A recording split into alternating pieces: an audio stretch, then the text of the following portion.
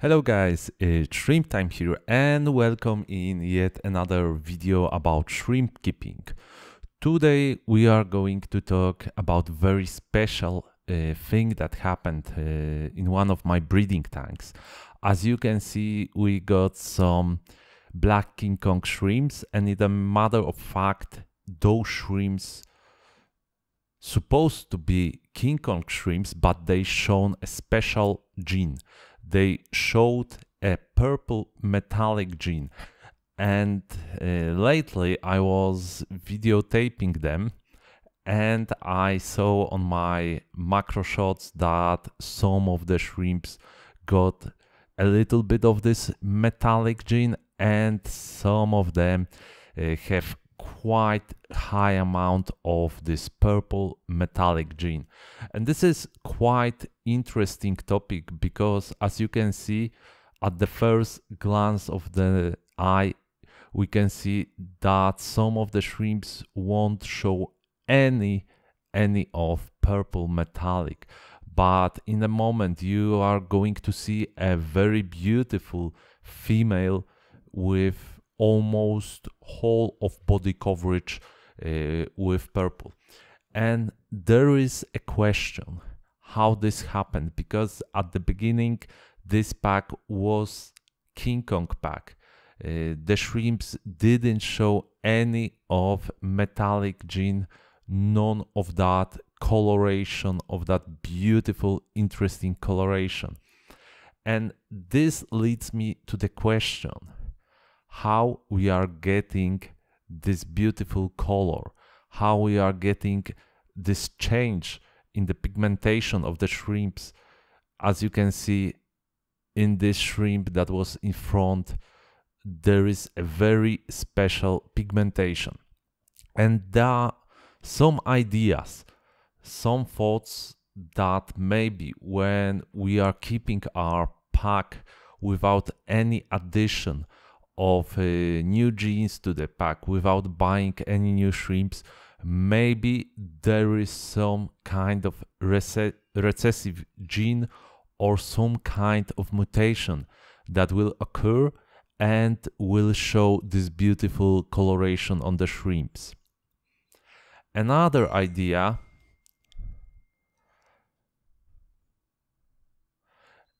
is the idea that maybe some type of water parameters will affect the shrimps the way that they will change the coloration. Because uh, the place that shrimps usually live don't have the same amount of bacteria don't have uh, the same type type of food.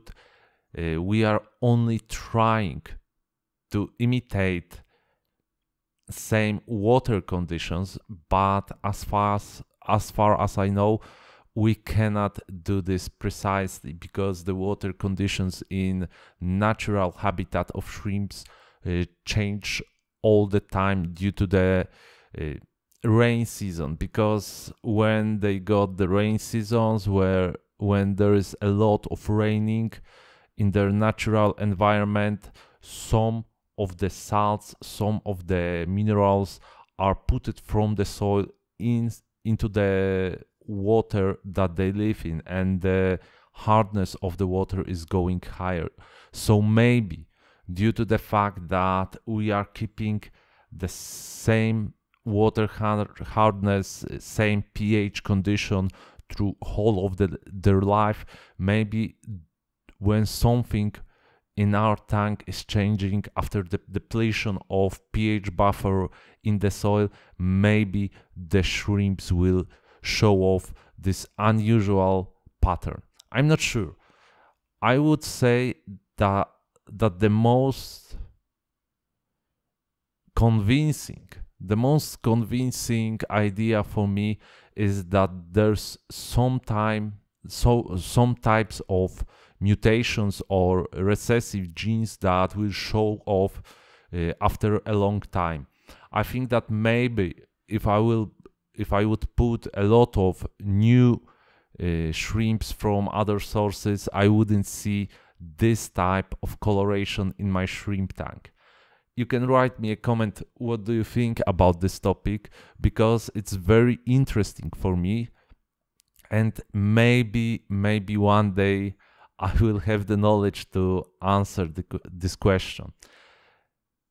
Another thing important for me is what i'm trying to do right now because when i saw that i've got this purple met metallic coloration this purple metallic pigmentation i will try to do some selective breeding of this pack and I will try to get the whole body coverage with purple metallic. As you can see, there are different shades, different shines on the shrimp, so there is a high probability that this one pack will finish in a couple of different tanks, some of females, so some of males, so that I will try to get the different shades of this pack and this is beautiful about shrimp keeping because we can try to develop new patterns try to develop new colors and the whole fun of shrimp keeping is hidden in this very beautiful very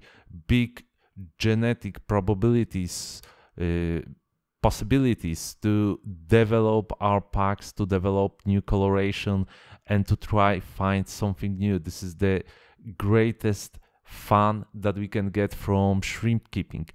And the next pack that I will show to you will show off this great fan. Because now you can see my red bolt shrimps, but they are very unusual red bolt shrimps due to the fact that they've got very strong, very interesting red coloration, a bit of pinkish, a bit of orange coloration, and they've got this little, little red pigmentation going from the bottom of their body. And it's quite unusual because when I saw other red bolts, I usually didn't see so nice and so strong coloration. Usually those colors are a bit pale and uh, don't show this interesting pattern. And this is another pack that I will try to develop uh, this very interesting trait, try to get those colors pop off, maybe to get a lot more of this red color going from the bottom of the shrimps as you can see on this beautiful female. She's a great example of this unusual and very interesting coloration and probably she will get another tank and when I will be trying to develop this interesting pattern I will see if this pattern will get more body coverage? Will it be something stable or is it a trait for some of the shrimps?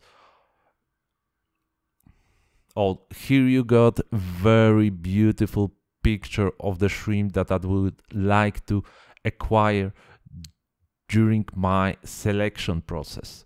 This type of female got a great pattern and it's something new and as I said, I'm breeding shrimps more than 10 years right now and I didn't see this type of a pattern yet. So another pack, another way to develop and selective breed our shrimps. And this is another thing that we can discuss watching this type of very classic panda shrimps because when I was starting the Taiwan bees, the panda shrimps didn't show so much of shadow of this of this blue coloration. They were black and white.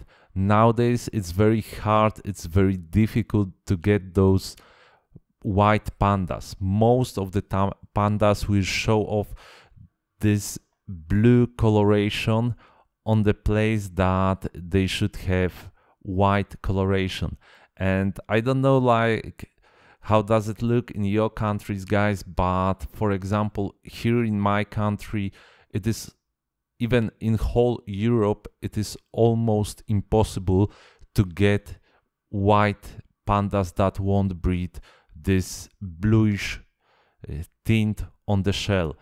They will show off so more or less blue. As you can see on these shrimps, they, they don't have the whole white uh, stripes uh, covered with blue, but they've got this blue coloration popping off. And some of the shrimps, some of the shadow types will get whole white color covered with blue. It is also a bit sad uh, if we are talking about the development of shrimp breeding because we are losing some of the types of the shrimps that we could breed. Of course, we are getting new and new types of shrimps, uh, and this is wonderful, but we also are losing some of the classic shrimps, of the classic patterns that we used to see in our tanks.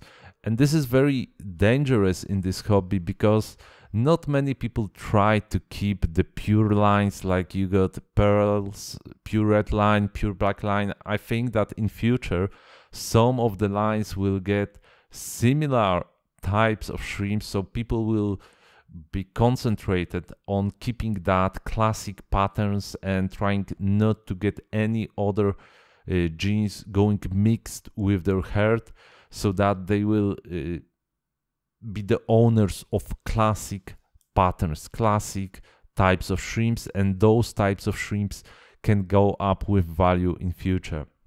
Another very interesting uh, development of the genetics of the pigmentations are the boa shrimps, and they show how many possibilities when we are talking about the pattern, when we are talking about the pigmentation, there is in the genetics of the shrimps because we got blue boas, we got blue metallic boas, we got white boas.